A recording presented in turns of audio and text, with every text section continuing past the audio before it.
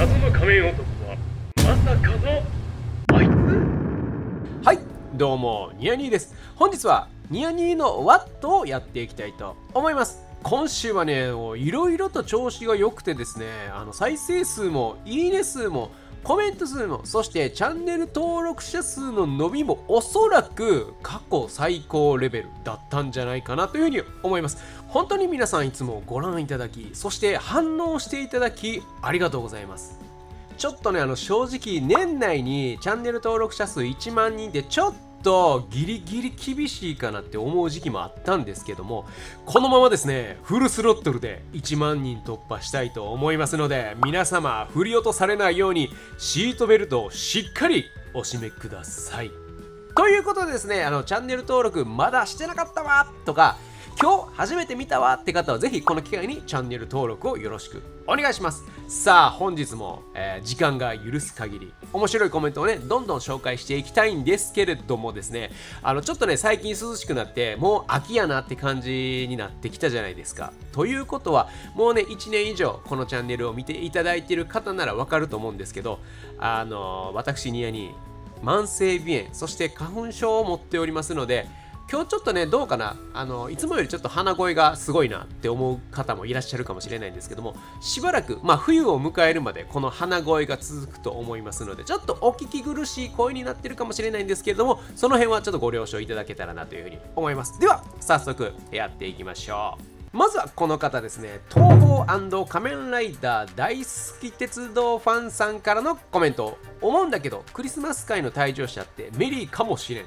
仮面ライダーメリーメリークリスマスっていう感じでメリーというつながりで可能性高そう。まあ、脚本がですね高橋さんだけやってやっぱりクリスマスは嫌でも期待しちゃいますよね。今回の犠牲者はメリーということなんですけど今年のクリスマス25日はですねまさかの日曜日なんですよね。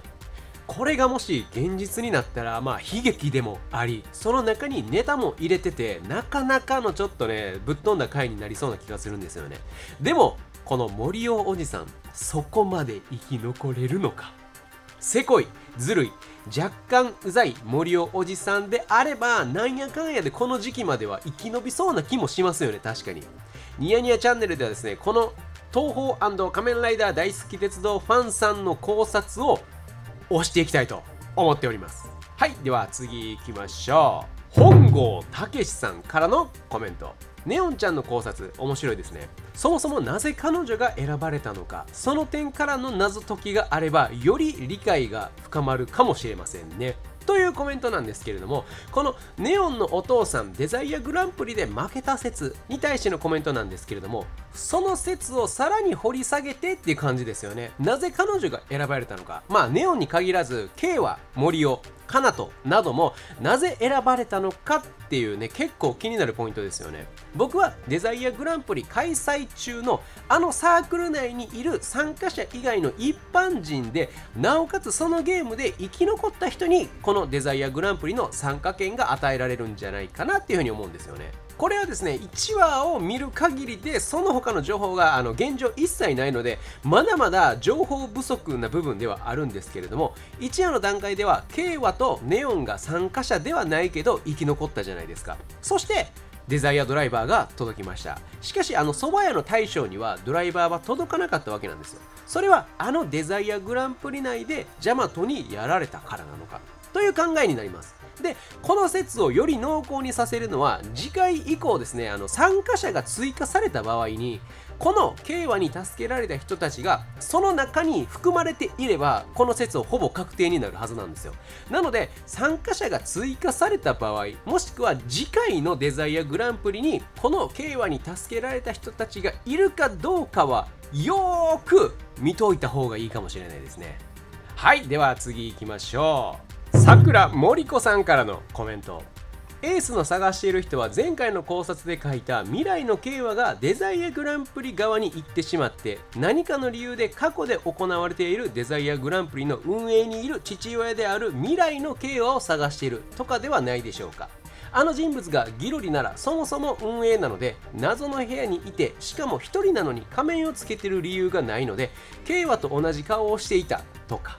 過去に行ってその時代の慶和に干渉しつつ父親の慶和も探している。カエサルのコイン。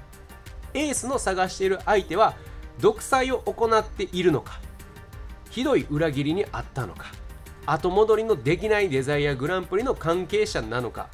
その全てかも。いやー僕ねあのここのこの謎の仮面男に関してはずっとノータッチだったんですよね。もう謎すぎて、まあ、しかもまあノーヒントでしょあの謎仮面。で森子さんが今まで出してくれた森考察をもとにまた新たな森考察を出してくれたわけなんですよね今回。慶和はエースの父でありなおかつ謎仮面で未来ではデザイアグランプリの運営側という複雑すぎるけど面白すぎる考察なんですよね。こういう謎キャラがですね実はもう出てきている既存キャラってパターンってなかなかワクワクしますよね。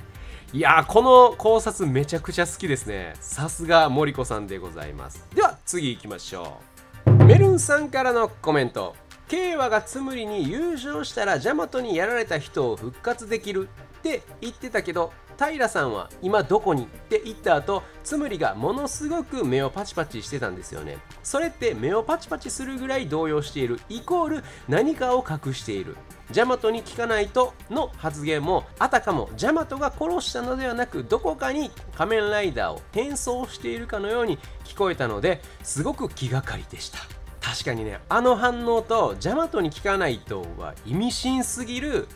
言動と行動でしたよね。ジャマトに聞かないとということはもしかするとジャマトと意思疎通ができるとかも可能性があるんじゃないかなというふうに思ったんですよね。あの仮面ライダーリバイスの明美さんのように顔だけグググって表にちょっとだけ出てきて話せるみたいなね展開も今後あるかもしれないですよね。で今まで倒してきたジャマトは過去の参加者だったんだと知った慶和はなおさら参加者を復活させるようにですね奮闘しそうやけど勝つためにはジャマトを倒さないといけない。ジャマトを倒すイコール過去の参加者を傷つける。となるからですね、まあ、その先に復活があるとしてもかなりの葛藤が描かれるかもしれないですね。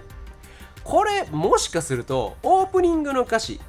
誰かを傷つけてしまって傷ついてもいられないゲームにつながってくるかもしれないですね。はいでは次行きましょう。これはちょっと何と読んだらいいんやよ。白黒夜さんからのコメント。